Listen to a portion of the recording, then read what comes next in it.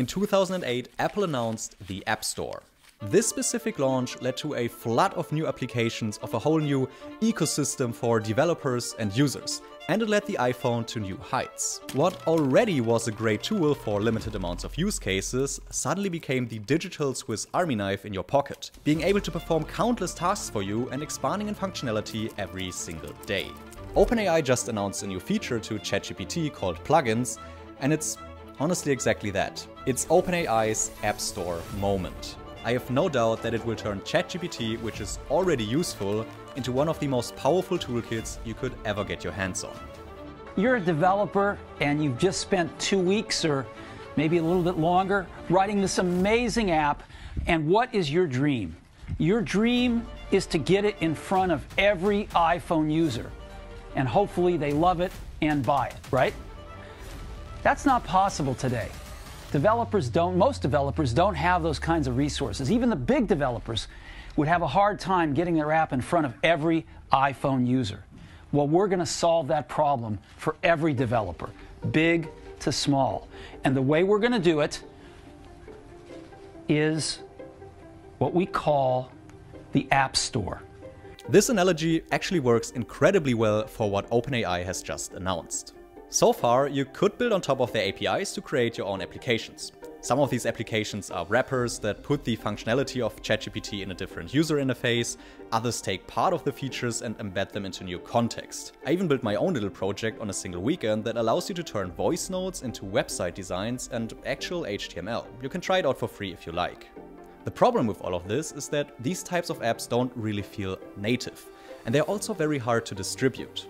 The OpenAI plugins feature will solve this issue and make ChatGPT as well as applications that build on top of it extremely user-friendly and accessible. In this video I want to give you an overview of what's possible with this newest addition.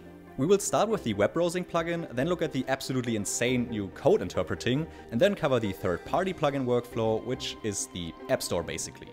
Be careful, it might blow your mind. Let's get right in. Two of the major drawbacks of ChatGPT that are also somewhat connected to each other are, for once, that the knowledge cutoff is at the end of 2021, meaning it can't provide information for current events, and secondly, that it regularly just makes stuff up. The browsing plugin, which is in alpha stage and not publicly available yet, solves or at least partly solves these downsides. As you can see in this example, the plugin makes it possible for ChatGPT to search the web for your queries. It uses the Bing API to do so. What's great is that it gives you the sources that led to its answer, so you can easily verify them. It's also smart enough to understand in which cases it already knows the answer and in which cases it needs to search the internet. I believe this has wide applications and honestly could change the way you browse the internet altogether. What's even more impressive to me is the new code interpreter. I believe this plugin will quickly turn into one of the most popular no-code tools ever. It lets you perform tasks that you would write down in Python scripts, but instead of Python, you just use natural language. In their presentation, OpenAI gave lots of great examples for this specific plugin, and I want to show you my two favorite ones that I will definitely use myself once I can. First of all is interpreting table files like a .csv. It reads what's in the file that you uploaded and you can interact with the contents, ask for visualizations, query what you want to be shown or how the data should be manipulated, all without a single line of code or complicated formula you would need to type in an Excel cell. I definitely need to do this regularly, but I'm not great at Excel or Google Sheets, so this will help a ton to understand the data of a file quickly. I think OpenAI itself gives a great description of why this code interpreter is such a big deal. Having access to a very eager junior programmer working at the speed of your fingertips can make completely new workflows effortless and efficient, as well as open the benefits of programming to new audiences. I completely agree. Here's a second example. If you do video content like me or are in the VFX or CG industry, you might know FFmpeg. It's a command line tool that lets you do all sorts of things to audio and video files, like change the format from MOV to MP4, cut out a specific part of the video, change resolutions, bitrate and frame rate, all with a single command. The problem, once again, is that you need to learn and understand these commands. This is where ChatGPT wins, because the code interpreter understands your natural language. You can upload your video file and simply ask it to perform the desired action using basic English. I hope it's easy to see for you how this can be game changing. These are just two examples, but this works for so many different things. While this is awesome in my eyes, it also carries some risks.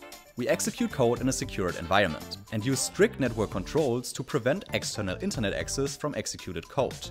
Disabling internet access limits the functionality of our code sandbox, but we believe it's the right initial trade-off. And I think this is a good choice. Additionally, there's also the open source retrieval plugin which lets you create personal assistants based on your own data. This is such a strong use case that I will cover it separately in my next video. I believe it marks the turning point from personal computers to personal assistants or personal AI assistants. The metamorphosis from computation to communication, where instead of technical knowledge to operate tools, you now only need your natural language. I believe it could very well be the defining technology of the 2020s. So Make sure to subscribe to the channel to not miss that video. But let's look at the third-party plugins, the App Store so to speak. When starting a conversation on chat.openai.com, users can choose which third-party plugins they'd like to enable. The access to this will roll out over time through a waitlist for users and developers. So far, there are 11 plugins integrated, including Zapier, Expedia, and Wolfram. I think the best way to showcase what these third-party plugins really mean or what their capabilities are is to give you an example. Today I'm going to show you how you can use ChatGPT to do some simple meal planning. First, let's head to the plugin store to install the necessary plugins. Next, let's ask ChatGPT for a restaurant recommendation on Saturday, a recipe for Sunday, the total calorie count, and to order the ingredients on Instacart. First, it's using OpenTable to find me a great restaurant for Saturday. For Sunday, it's finding me a simple recipe, and it's asking Wolfram Alpha to calculate the calories. 862, great. Now let's make the shopping list.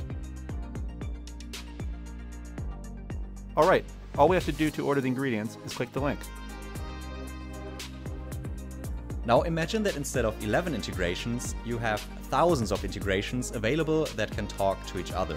So what can we take away from this? There have been many key user interface breakthroughs in computing, from the graphical user interface of PCs to the web browser to smartphone apps with multi-touch.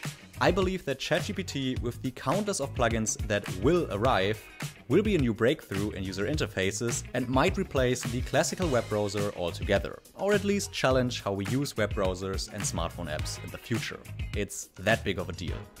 On top of that, OpenAI is very quickly growing into one of the most powerful tech companies in the world. This is actually scary. Check out this video to understand why.